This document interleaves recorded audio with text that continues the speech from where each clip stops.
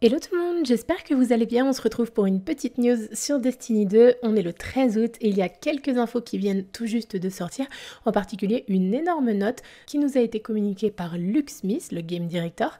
Et donc on va parler un petit peu en gros, en résumé de cette note, puisqu'on va parler uniquement des informations essentielles. Il y a beaucoup de blabla.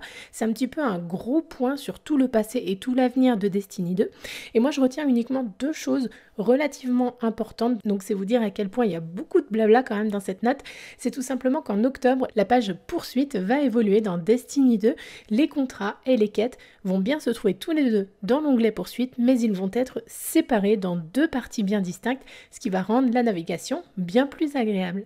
Et la deuxième grosse information que je retiens essentiellement de cette news, c'est tout simplement que la boutique Eververse sera à partir d'octobre accessible directement depuis le menu général, c'est-à-dire depuis l'orbite. Donc ça, c'est les deux infos majeur que j'ai retenu du grand discours de Luke Smith, sachant que ce discours est scindé en plusieurs parties et qu'il y aura probablement des informations bien plus intéressantes dans les semaines à venir.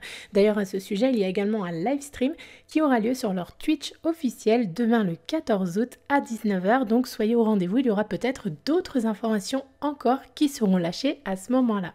Il y a également eu ce soir une mise à jour sur Destiny 2, une mise à jour qui vise notamment à faciliter la quête de l'armure du solstice des héros puisque la phase où il fallait tuer les 100 mini-boss a été réduite à 50 mini-boss, euh, sachant que le boss de fin également compte dorénavant pour 5 mini-boss, donc ça va être beaucoup plus rapide de faire la quête de l'armure du solstice par exemple sur vos trois personnages.